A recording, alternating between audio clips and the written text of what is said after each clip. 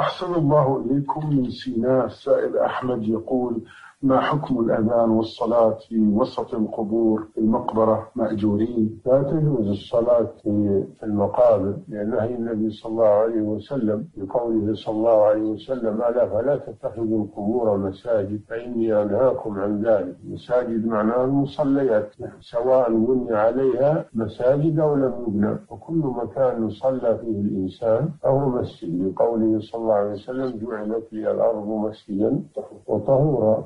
تجوز الصلاة عند القبور لأن ذلك وسيلة إلى الشرك. ويجب على المسلم أن يتعلم أمور العقيدة حتى يتجنب ما يخل بها.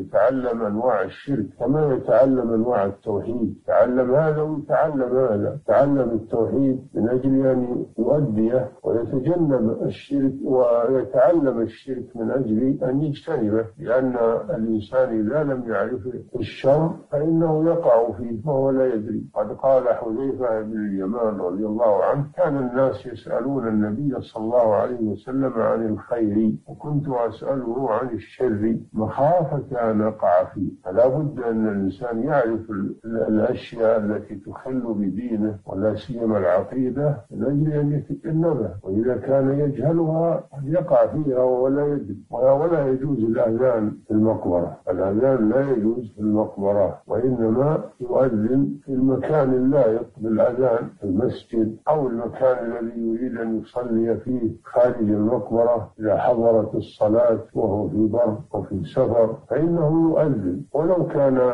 وحده وإذا كان معه جماعة فالأذان يتأكد. ولو كانوا في سفر أو في أو في بر إنهم يؤذنون للصلاة. نعم.